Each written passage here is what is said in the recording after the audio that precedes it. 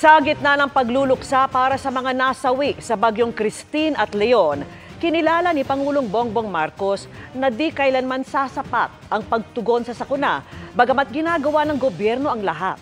May flood control din anya pero sadyang hindi kinakaya ang epekto ng climate change.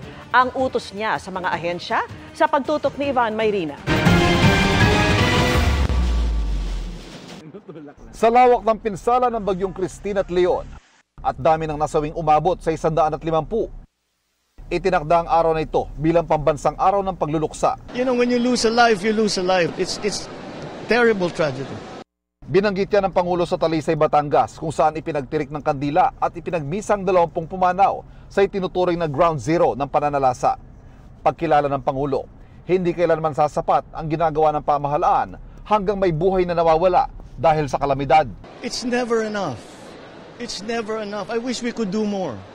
We're doing everything that we can. Sa buong lalawigan, 61 naman ang kabuang bilang ng pumanaw para makatulong sa pagbangon. Namahagi ang gobyerno ng tig 10,000 para sa mga piling benepisyaryo, mga materyales para sa muling pagpapatayo ng mga nasirang bahay at 10 milyong piso para sa lokal na pamahalaan. Habang sa katabing bayan ng Laurel kung saan labing isang namatay, ininspeksyon din ang isang tulay. Dito, isang bilyong pisong halaga na infrastrukturang winasak ng bagyong Christine, dagdag sa mga naunang pagsubok sa lugar. Talagang malaki pong pangyayari po ito sa aming buhay. Nakaligtas po kami sa putok ng bulkan eh, ito naman po ang nangyari sa amin. Ang pag-apaw ng mga ilog, pagragasa ng baha at pambihirang buhos ng ulan, tila paulit-ulit na tema sa mga pagbahang dulot ng mga nakalipas sa bagyo.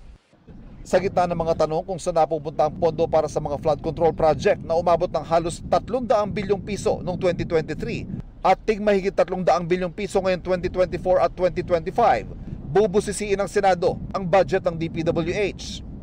Welcome ito sa Pangulo, pero pagdidiin niya, matindi ang climate change, kaya hirap kahit ang mga inilatag na proyekto. Talagang nang overwhelm ang flood control natin. May flood control tayo, hindi kaya.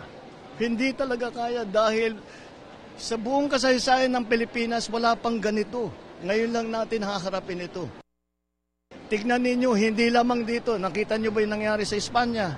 Nakita nyo ba yung mga nangyayari sa iba't ibang lugar? Sa states, yung mga nangyayari. Ganyan din. Sa, doon din sa mga lugar na yun, eh, ngayon lang nangyari yan. Bahang hindi pa nila nakita sa tanang buhay nila.